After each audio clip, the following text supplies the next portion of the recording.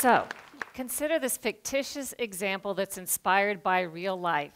Say you're watching the news and you see a story about a new study on the cholesterol lowering drug called Cholextra. The study says Cholextra is so effective that doctors should consider prescribing it to adults and even children who don't yet have high cholesterol. Is it too good to be true? You're smart, you decide to do some of your own research. You do a Google search, you consult social media, Facebook and Twitter, you look at Wikipedia, WebMD, a nonprofit website, and you read the original study in a peer reviewed published medical journal. It all confirms how effective Cholextra is. You do run across a few negative comments and a potential link to cancer, but you dismiss that because medical experts call the cancer link a myth and say that those who think there is a, a link there are quacks and cranks and nuts. Finally, you, you learned that your own doctor recently attended a medical seminar. The lecture that he attended confirmed how effective Cholextra is, so he sends you off with some free samples and a prescription. You've really done your homework. But what if all isn't as it seems?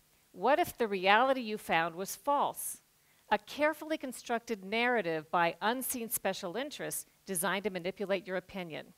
A Truman Show esque alternate reality all around you. Complacency in the news media combined with incredibly powerful propaganda and publicity forces mean we sometimes get little of the truth.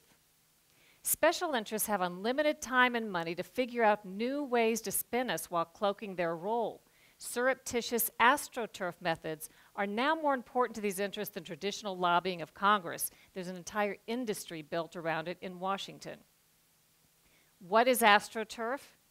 It's a perversion of grassroots, as in fake grassroots. AstroTurf is when political, corporate, or other special interests disguise themselves and publish blogs, start Facebook and Twitter accounts, publish ads, letters to the editor, or simply post comments online to try to fool you into thinking an independent or grassroots movement is speaking. The whole point of AstroTurf is to try to give the impression there's widespread support for or against an agenda when there's not. AstroTurf seeks to manipulate you into changing your opinion by making you feel as if you're an outlier when you're not. One example is the Washington Redskins name. Without taking a position on the controversy, if you simply were looking at news media coverage over the course of the past year or looking at social media, you'd probably have to conclude that most Americans find that name offensive and think it ought to be changed. But what if I told you 71% of Americans say the name should not be changed? That's more than two thirds. AstroTurfers seek to controversialize those who disagree with them.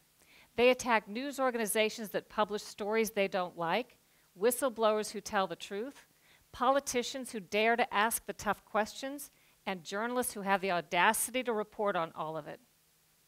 Sometimes astroturfers simply shove intentionally so much confusing and conflicting information into the mix that you're left to throw up your hands and disregard all of it, including the truth. Drown out a link between a medicine and a harmful side effect, say vaccines and autism, by throwing a bunch of conflicting paid for studies, surveys, and experts into the mix, confusing the truth beyond recognition. And then there's Wikipedia. AstroTurf's dream come true. Build is the free encyclopedia that anyone can edit, the reality can't be more different. Anonymous Wikipedia editors control and co opt pages on behalf of special interests. They forbid and reverse edits that go against their agenda. They skew and delete information in blatant violation of Wikipedia's own established policies with impunity, always superior to the poor schlubs who actually believe anyone can edit Wikipedia, only to discover they're barred from correcting even the simplest factual inaccuracies. Try adding a footnoted fact or correcting a fact error on one of these monitored Wikipedia pages and, pages and poof, Sometimes within a matter of seconds, you'll find your edit is reversed. In 2012, famed author Philip Roth tried to correct a major fact error about the inspiration behind one of his book characters cited on a Wikipedia page. But no matter how hard he tried, Wikipedia's editors wouldn't allow it. They kept reverting the edits back to the false information. When Roth finally reached a person at Wikipedia, which was no easy task, and tried to find out what was going wrong, they told him he simply was not considered a credible source on himself. a few weeks later, there was a huge scandal when Wikipedia officials got caught offering a PR service that skewed and edited information on behalf of paid, publicity seeking clients in utter opposition to Wikipedia's supposed policies. All of this may be why, when a medical study looked at medical conditions described on Wikipedia pages and compared it to actual peer reviewed published research, Wikipedia contradicted medical research 90% of the time. You may never fully trust what you read on Wikipedia again, nor should you. Let's now go back to that fictitious Cholextra example and all the research you did. It turns out the Facebook and Twitter accounts you found that were so positive were actually written by paid professionals hired by the drug company to promote the drug. The Wikipedia page had been monitored by an agenda editor also paid by the drug company. The drug company also arranged to optimize Google search engine results, so it was no accident that you stumbled across that positive nonprofit that had all those positive comments. The nonprofit was, of course, secretly founded and funded by the drug company.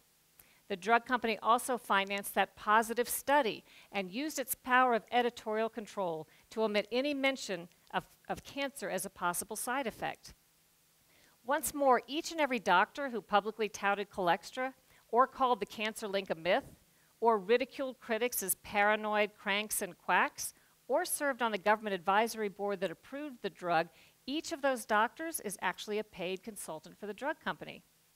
As for your own doctor, the medical lecture he attended that had all those positive evaluations was, in fact, like many continuing medical education classes, sponsored by the drug company. And when the news reported on that positive study, it didn't mention any of that. I have tons of personal examples from real life.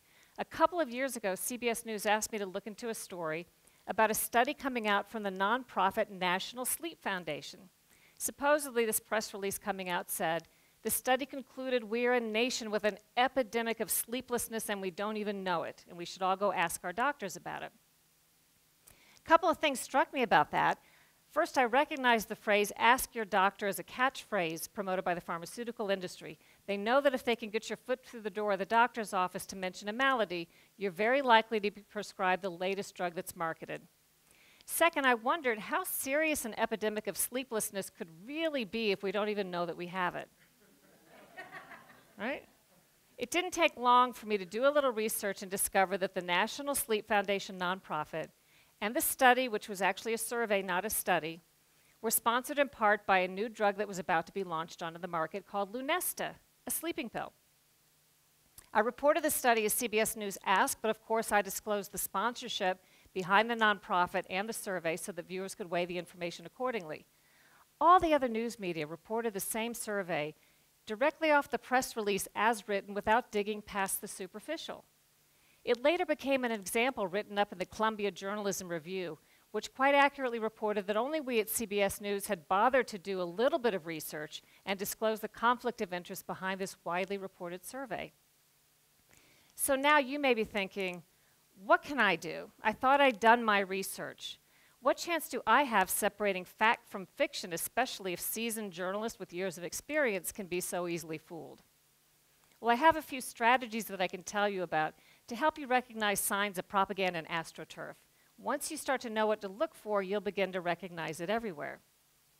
First, hallmarks of astroturf include use of inflammatory language such as crank, quack, nutty, lies, paranoid, pseudo, and conspiracy. Astroturfers often claim to debunk myths that aren't myths at all. Use of the charged language tests well. People hear something's a myth, maybe they find it on Snopes, and they instantly declare themselves too smart to fall for it. But what if the whole notion of the myth is itself a myth and you and Snopes fell for that? Beware when interests attack an issue by controversializing or attacking the people, personalities, and organizations surrounding it rather than addressing the facts. That could be AstroTurf. And most of all, astroturfers tend to reserve all of their public skepticism for those exposing wrongdoing rather than the wrongdoers. In other words, instead of questioning authority, they question those who question authority. You might start to see things a little more clearly. It's kind of like taking off your glasses and wiping them and putting them back on and realizing for the first time how foggy they'd been all along. I can't resolve these issues, but I hope that I've given you some information that will at least motivate you to take off your glasses and wipe them and become a wiser consumer of information in an increasingly artificial, paid for reality. Thank you.